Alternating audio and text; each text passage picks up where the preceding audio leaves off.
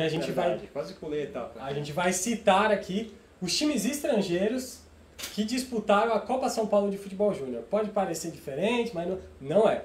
Vários times disputaram a Copa de São Paulo de Futebol Júnior e a gente vai citar agora que são 14. 14. Tem a ver com isso aqui, né? Tem a ver com grana. Tem a ver com grana, patrocínio.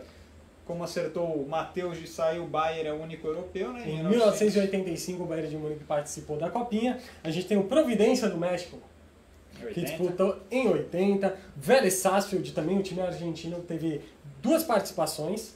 Duas Em participações. 81, 82, jogou a Copinha. Universidade Guadalajara do México em 88. Boca Juniors, olha o Boca, Boca participou. Boca participou. Em 93 o Boca participou.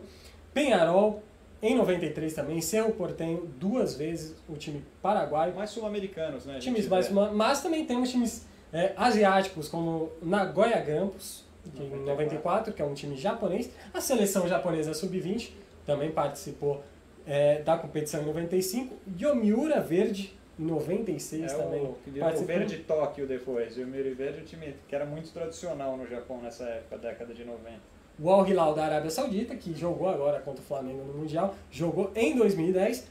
Tem a seleção chinesa sub-20 Seleção também, chinesa da japonesa. sub-20 também participou em 97, Kashiwa Reysol, que é um time bem conhecido japonês, em 2014. E o último time estrangeiro a participar da Copinha é o Pérolas, Negras, que é um time do Haiti, 2016-2017, que também é um time que pega um pouco de refugiados Sim. também, participam da Copinha. Mas só que é o mais incrível de todos esses times, a gente pega Bayer, Boca, é, times tradicionais Penharol, Cerro, só o Caxiva Reysol passou de fase na Copa São Paulo de todos esses times. O Bayer apanhou do Santos, né? Que a gente citou, por isso que a gente tá até dando a camisa do Por Santos. isso, tá, hoje. o Bayern tomou 3x1 do Santos. E perdeu para um outro time brasileiro também de pouca expressão, ganhou um jogo só, né? Um time que fez feio ali, apesar dessa pompa toda, o Bayern de Munique.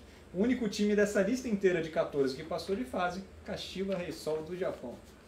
Até por isso que diminuiu, ali nos anos 80, 90 era maior a participação desses times. Sim.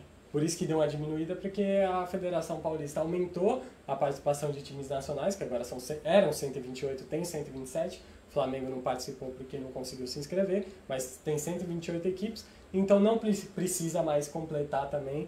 E também os times não vinham com aquela força toda para jogar a Copa São Paulo. Era mais para divulgar a marca, a camisa, né? E não, não, não vale tanto a pena para competição. né?